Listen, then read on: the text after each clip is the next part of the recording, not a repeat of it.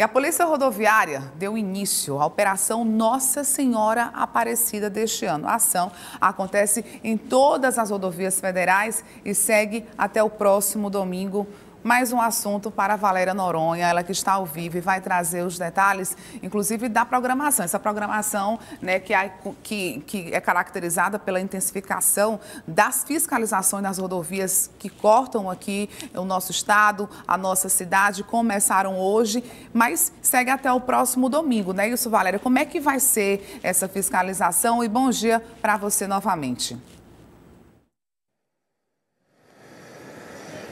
Bom dia de novo, Geandra. Bom dia para você do outro lado da tela. Geandra, serão quatro dias intensos de fiscalização, combate à violência no trânsito e educação em relação aos acidentes, à prevenção, inclusive o uso de capacete, respeito ao ao nível de velocidade, ao limite de velocidade de cada via. E essas ações vão acontecer em especial nas rodovias estreitas, não, fora aquelas de duplicação. Quem vai trazer os detalhes sobre como é que vai acontecer essa operação nas rodovias federais de todo o Piauí é o é o porta-voz do Núcleo de Comunicação da PRF, Leandro Caldas, que traz informações também acerca dessas fiscalizações que vão acontecer e sobre a educação no trânsito tão importante para a gente evitar acidentes durante esse feriadão. Então, essa restrição vai abranger todas as rodovias federais de pistas simples, exceto aquelas, aqueles trechos de rodovias duplicadas. Vai acontecer na quarta, do dia é, das 16 às 22 horas, na quinta, das 6 às 12 horas na volta para casa no domingo das 16 às 22 horas. Antes de viajar, faça uma revisão do seu veículo.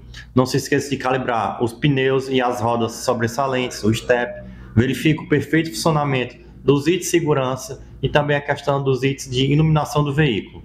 É, calcule também o tempo de rota, respeite os limites de velocidade, mantenha sempre a distância de segurança do veículo da frente e somente é, realize ultrapassagens em locais permitidos e quando houver plenas condições de segurança. Lembre-se de usar o cinto de segurança, né? o motorista e os passageiros todos têm que usar, assim como os dispositivos de segurança adequados para crianças, a cadeirinha, o bebê conforto ou assento de elevação.